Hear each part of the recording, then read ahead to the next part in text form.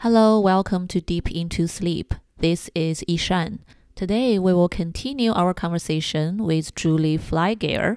She founded the Project Sleep organization after receiving her own diagnosis of narcolepsy in 2007.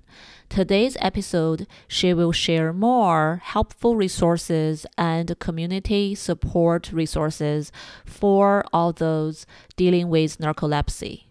I'm sure you can also find the stories she shared about herself. is very encouraging and inspiring for you.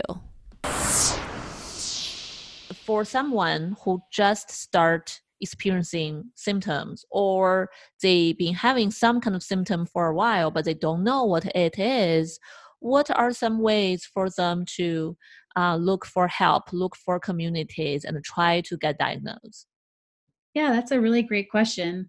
I think that, you know, it's really helpful to connect with other people living with narcolepsy and with the organizations. Um, and so there are a few different great ones here in America, but there's also different organizations around the world. Uh, so here in America, there's um, Narcolepsy Network. There's another organization called Wake Up Narcolepsy. And there's an organization called the Hypersomnia Foundation that is really super helpful for people living with idiopathic hypersomnia. And of course, Project Sleep has resources as well. And you know, across the different uh, conditions, there's a KLS Foundation for Kleine-Levin syndrome. There's an RLS Foundation. There's the American uh, Sleep Apnea Association. Uh, and so there's you know really different. I'm trying to think. Oh, I'm forgetting one. The Circadian Sleep Disorders Network for people. Oh, yes. um, I'm sure I'll still forget some, but um, there's these great organizations. I think that they have good resources and they can always usually connect you to other people. Um, and, you know, I think just really advocating for yourself that you need to see a sleep specialist uh, if someone hasn't yet been diagnosed, um, that, you know, primary care doctors might, um, they might discard uh, the uh, complaint because they aren't really educated on sleep disorders. So one of the things I like to let people know is that uh, you know a general medical school curriculum might include an hour of all of sleep. And that's just a really inadequate amount. So right. if you go to a primary care doctor they might know close to nothing about sleep and sleep conditions. And so it's it's it's not their fault but they might actually um, they might actually kind of like perpetuate misconceptions just from like their their like our general societal misconceptions as opposed to be giving you like medical information. Um, so you know i just try to let people know to go see a sleep specialist for sure Yes, yes, that's so important. I think a lot of uh, providers across different healthcare fields all kind of know the basic sleep hygiene stuff, some basic uh, sleep deprivation, some basic ideas about uh, limited numbers of sleep disorders. But if only one to several hours of training, uh, definitely not enough because sleep is such a wide and deep with all this more than um, last time I saw, I think it's more than 90 different type of sleep disorder already recognized, and a lot of those are still not recognized by us yet. And uh, um, I think a lot of providers may just miss that. Or I think the biggest challenge for a lot of people who are trying to figure out what's what's going on with them is they may not even think about this something sleep related, right? Right. And so, you know, a primary care doctor that I saw, and I've, this is once I realized I might have a sleep problem. If you look back at the notes, it's like it's like textbook narcolepsy. I, I my first complaint was I think I might have a sleep disorder. I described having trouble driving and, and having trouble with my coursework. And then the second thing I brought up was that my knees were buckling with laughter or when I was annoyed. And so if you look back at that, like those are the two major symptoms of narcolepsy, and she completely missed it. Mm. Um, so she suggested depression and you know check my thyroid and my iron levels, which I understand are more common. You know those are the good things to check first. Um, but you know interestingly, I did see a therapist the, because I I didn't feel like depressed. I I feel like I'd been through some depression earlier in my life, and that this didn't feel that way. I just felt tired, but I also just felt really out of control. Um, and so I went to the therapist anyway, um, just because you know I'll, I would do anything at this point to feel better. Um, and then interestingly, I found cataplexy and narcolepsy like a week later.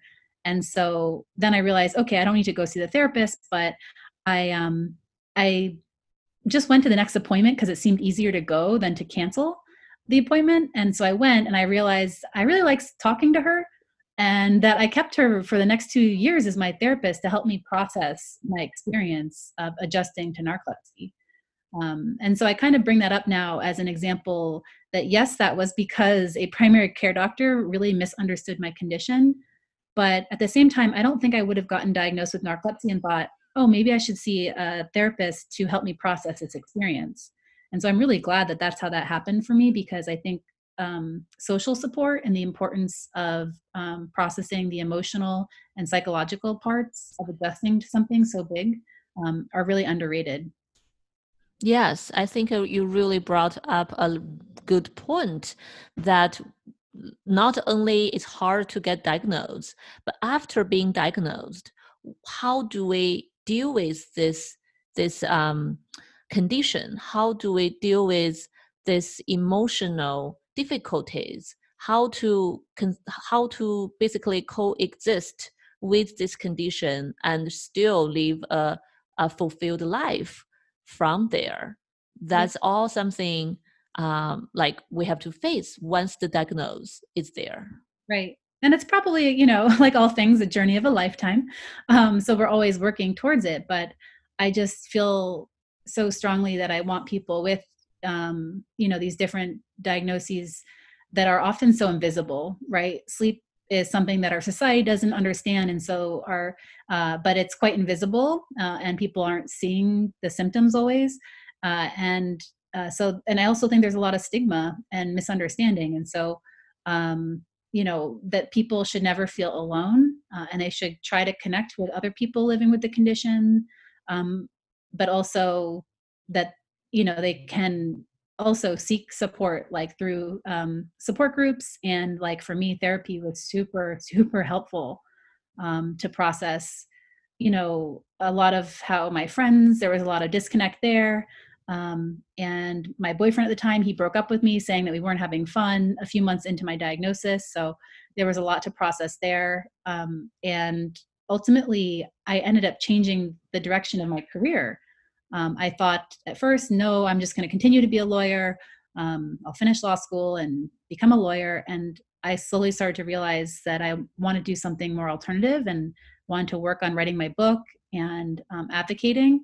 And so my therapist actually helped me process all of that because I, I knew that like my dad was a lawyer, so I knew that he wanted me to be a lawyer, and so I had a really hard time addressing that with him as I was seeing that my path um, for my career was going to change. And so my therapist was like the first person I could talk to about some of that as well.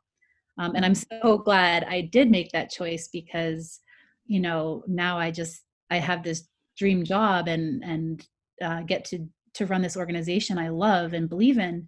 But it wasn't so easy to just. It wasn't like I just got this diagnosis and the next day was able to just change my whole life around it and build this organization. It was a huge like process. Right. Wow. That sounds like quite a long journey and a lot of um, internal conflicts you have to uh, walk through. You have to figure it out with some some support around you. Definitely. Hmm.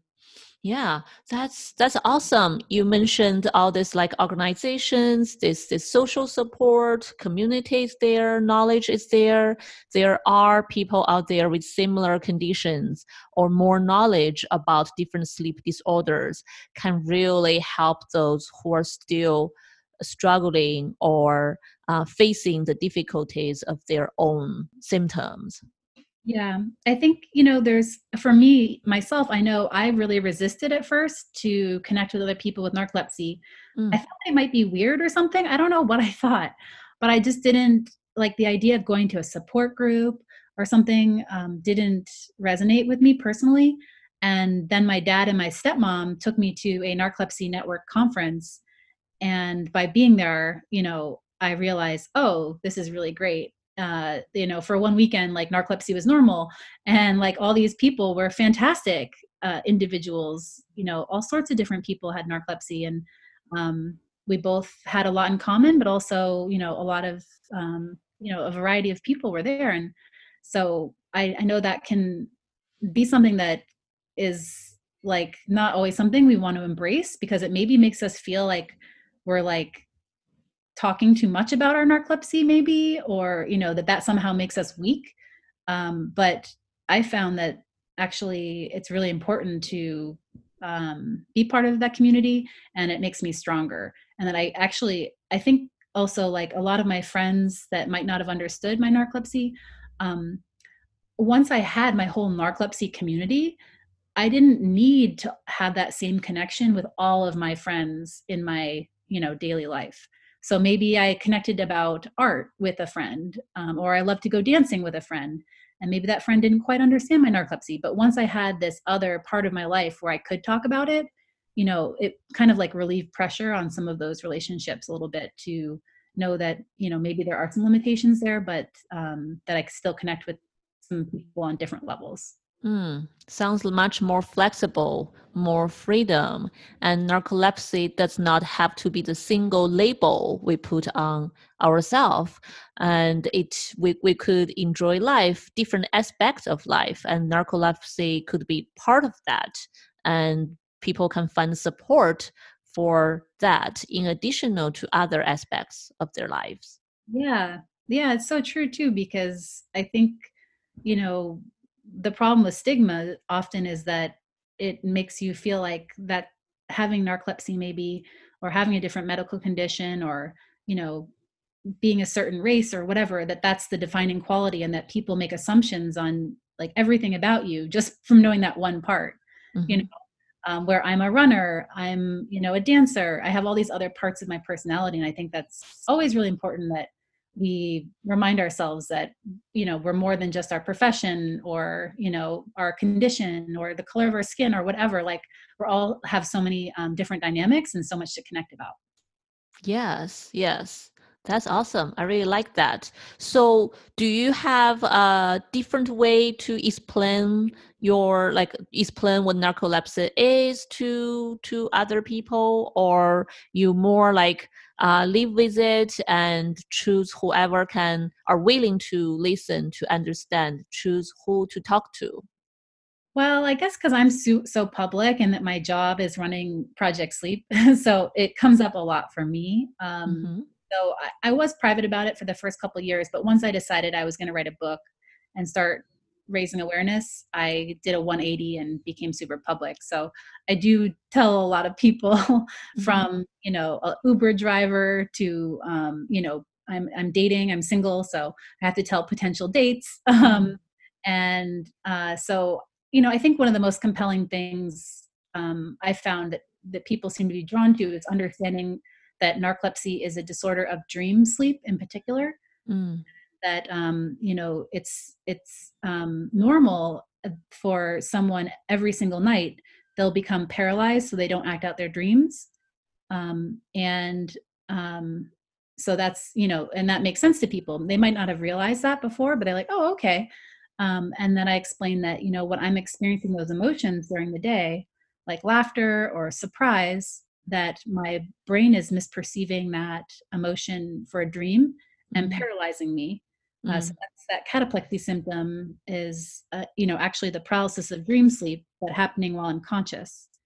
And so people are kind of like, wow, uh, because it it also goes to show how narcolepsy isn't just about falling asleep. You know, that's kind of the perception. Oh, you fall asleep all the time, um, but it's it's it's much more of this, you know, dysregulation of of dream sleep in particular, involving you know the paralysis of dream sleep um, and um, you know it's so and it happens day and night you know the symptoms are are 24 hours a day mm. uh, so mm. i find that kind of like one of the interesting things to explain to people um, that seems to really resonate with them um, mm-hmm. yeah yeah yeah yeah i really like the way you make the analogy to really help other people for people who are not familiar with it to understand some basic components of it yeah mm-hmm. and i think you know for me personally it's always about trying to explain that yes, it is a serious condition, but also that I'm doing well. Um, you know that um, that it a wide variety of experiences exist. So, you know, there's never just like one patient voice um, because there's so many different factors uh, that influence you know how I'm doing. But uh, for me, like yes, I'm able to drive and I take medication twice a night and once a day, and I work full time. Um, but that doesn't mean that everyone with narcolepsy does those things. Um, but you know, it's important to me to balance explaining that the condition is both serious, but you know, uh, for me, I, I'm doing I'm doing pretty well, and that's why it's so important to me to um, try to make things better for other people that that might not be able to be on the treatments I'm on, or are not able to um, have the same kind of like uh, experience I have. Yeah, so sounds like just like sleep is very individual thing. I think narcolepsy condition is different for different individuals, and sounds like there are some treatment uh, existing to help people manage the symptoms, even if it may not eliminate the symptom, but it may be able to contain the symptom to a certain level that to help with daily functioning. Exactly. Yep. Great. Even though I think um, different individuals may uh, be able to function at different levels even after treatment, right? But treatment and hope is definitely there. Yeah, for sure. And it's an exciting time in the narcolepsy space because there's a lot of drug development underway. And I think the next, you know, three to five to 10 years, we're going to see um, a lot more options available um, that will be, you know, hopefully improving lives even more. Um, so it's it's a great it's a great time because actually now it's been 12 years since I was diagnosed and there haven't really been any new treatments uh, for narcolepsy until this year, and there's already been two FDA approved drugs for narcolepsy just in 2019. Yeah, that's great. I think I went to one of those uh, lectures in the World Sleep Conference. They talk about those uh, drugs for narcolepsy. Yes, yes, there was a lot of exciting announcements at the World Sleep Meeting. Um, yes. I remember yeah. in one of those meetings, I went to um, Dr. Chris Winter was one of the speakers. I just interviewed him. He was in one of that uh, talks talking about narcolepsy medications. Oh, good. Yeah, he's so great. He's um, such a great clinician. Obviously, I've he's not my doctor, but I've heard such great things from people that are lucky enough to live in the area where he practices in in Virginia. Oh, awesome. Yeah, I actually went to school in Charlottesville. So when I found out he was in Charlottesville also, that feels so nice knowing oh. someone from the same area. yeah. And one of our Rising Voices of Narcolepsy speakers, um, she talks about an experience where she'd gone over 20 years as well. Um, and, um, you know, the first time that she met uh, Dr. Winters, she felt understood for the first time, you know. Uh, wow and just crying and just realizing like she's not um you know it's nothing wrong with her it's a real thing. Um so i'm i'm so grateful to him and and and so look up to him in so many ways. Oh great. Yeah that's such a relief when you have a provider understand you and help you um, lower this this burden you've been carrying for so long. I can only imagine uh, how that is a amazing moment for for her. Really? Yeah, great. So, um, as the time reaching to an end, I want to know, like, if there's anyone listening who are having uh, this kind of condition, who is either seeking a diagnosis for narcolepsy or being diagnosed. Is there anything you want to let them know? Um, just to connect with Project Sleep, I think, and obviously the other organizations I mentioned as well uh, because people are in such different places. Um, but that, uh, and to definitely check out my book. I think that's not only helpful for people with narcolepsy, but clinicians and also family members. Uh, so, you know, often there's a lot of social disconnect uh, with people with narcolepsy, maybe, and their families not quite getting it.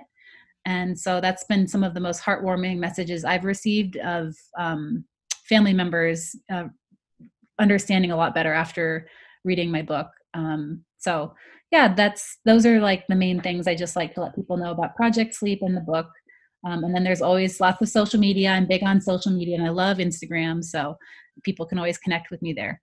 Great. Yes. Yes, because I was about to ask how people can find you, but you can give me all the links or social media accounts you want to share. I can put them on the website and people can find you there.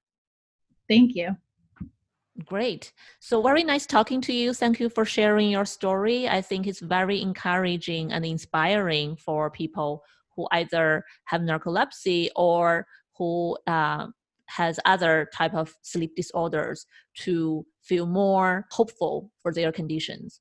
Thank you. I, I did want to mention also, I forgot to mention that we did this past year start the World Narcolepsy Day. And um, there is now, you know, September 22nd is a day around the world that we uh, raise awareness and celebrate narcolepsy and the, the, experiences of people with narcolepsy. And so we founded that with 24 different organizations around the world. Um, wow, that's awesome. How yeah. people can participate if you know any of us are interested in participating? Yeah, so there's a lot of different ways to participate. Project Sleep has um, opportunities for people via social media. Uh, we did have some events in person at the World Sleep Meeting uh, this past year. Um, but you know, we have a, a, page on our website dedicated to World Narcolepsy Day and uh, links to all the 24 different organizations around the world that co-founded it because in different countries they're doing different things uh, depending on what people uh, like in ireland they had um, kite flying events all over ireland um, and they had a ton of media uh, newspapers and radio shows that were sharing different stories of people with narcolepsy in ireland so um, you know it's great to to be able to connect to those different organizations and see what different people are doing around the world Wow, that's amazing. Yeah, I hope China has something similar, but I'm not sure. Uh, it's very narcolepsy is quite be uh, aware in in Asian countries yet. Yeah, there's not to my knowledge. I don't know that there is a narcolepsy patient organization in China. Um, there is in Japan, so mm. we're a Japanese organization, and I got to actually do a Skype meeting with them uh, over. Oh, great! Yeah yeah, and I correspond with them pretty frequently. So, um, and they're really excited for next year's World Narcolepsy Day and, and raising awareness. But um, I haven't been able to find. I know like some great clinicians and researchers mm-hmm. uh, from China, but I'm not familiar with any sort of a patient organization there yet.